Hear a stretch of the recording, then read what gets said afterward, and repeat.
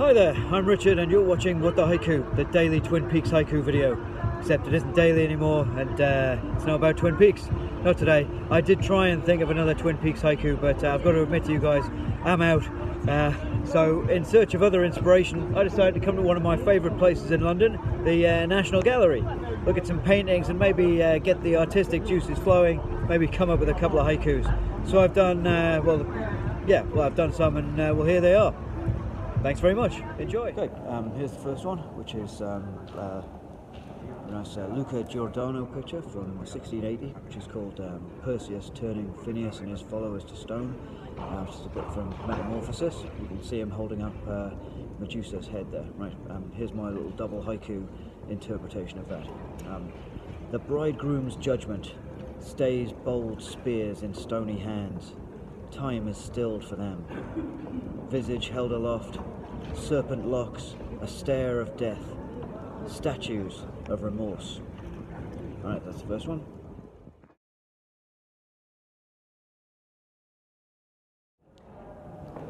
Okay, this next one, which is by um, one of my favourites, William Hogarth. Uh, it's from about 1743. And it's called uh, Marriage a la Mode, uh, number two, The Tete-a-Tete.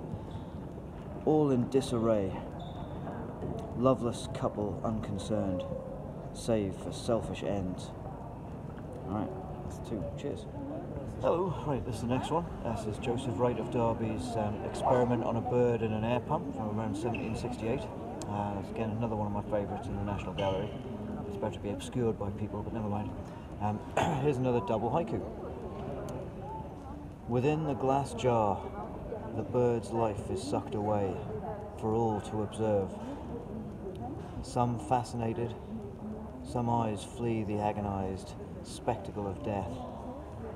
Right, there you go. And uh, that's number three. Let's see where I go next.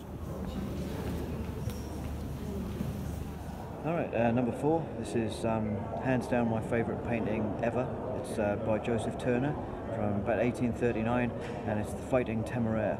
Um, and uh, well, here's my double haiku half face interpretation of that. Right, that's better, isn't it? Last rays of sunlight illuminate graceful masts, last touch of glory. Acrid smoke billows, unrelenting march of time pulls her to her end. Right, that's number four. Love a bit of Turner. Okay, and uh, number five, last one. This is uh, Paul Cézanne's Avenue at Chantilly, which is um, gorgeous, from 1888. Here we go. How many lovers walk the shaded avenue with fresh scent of leaves? Stop to share a kiss, meander freed of all cares, naught but each other. Right, there you go, that's my five haikus. Alright, just a bonus one. I happened to see this one on the way out and uh, thought I'd do a quick one for this, something slightly more flippant. Now this is um, Edouard Manet's A Woman with a Cat. And just from the look on her expression, look on her face, you can tell it's the look of any pet owner. So uh, here goes, here's my haiku for this poem. Damned pet insurance, and the cost of food so high. Worming tablets too.